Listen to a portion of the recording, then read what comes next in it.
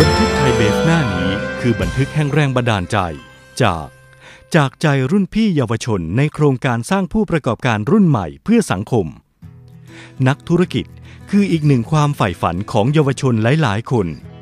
หากแต่การเป็นนักธุรกิจที่มีความสามารถนั้น คงยังไม่พอ การมีคุณธรรมและจริยธรรมในการประกอบการ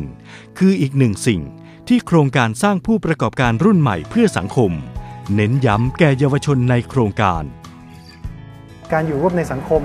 การใช้ชีวิตร่วมกัน หรือว่าการทำธุรกิจร่วมกันเนี่ยการที่มีการแบ่งปันมีการให้เนี่ยมันจะทำให้เกิดการต่อยอด ฉะนั้นผมเชื่อว่าการให้เนี่ยเป็นเรื่องสำคัญนะครับเป็นเรื่องที่จะจันโลงสังคมไทยและจันโลงสังคมโลกให้ยั่งยืนแล้วก็ดีงามต่อไป และในการเข้าค่ายสัมมนานี้ยังได้มีน้องๆผู้ประกอบการในรุ่นที่หนึ่ง ได้จัดทำบริษัทเป็นของตนเองแล้ว มาร่วมกิจกรรมในครั้งนี้อีกด้วย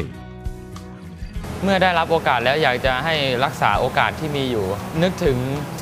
คุณค่าของโอกาสนั้นให้มากที่สุด ให้ตั้งใจกับสิ่งที่เราทำและมั่นใจในสิ่งที่เราทำด้วยครับ ก็อยากฝากถึงน้องๆว่า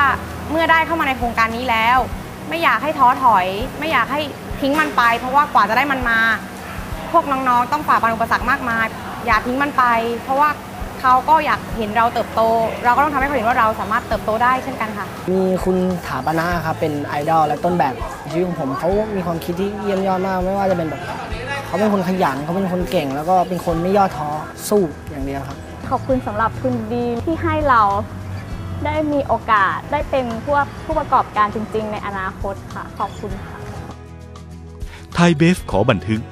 จากใจรุ่นพี่เยาวชนในโครงการ สร้างผู้ประกอบการรุ่นใหม่เพื่อสังคม เพื่อส่งต่อแรงบันดาลใจ สู่สังคมไทย บริษัทไทยเบเวอเรจจำกัดมหาชน